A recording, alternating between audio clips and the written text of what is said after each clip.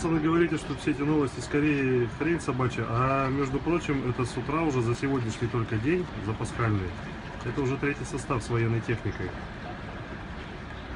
Так что не все так просто.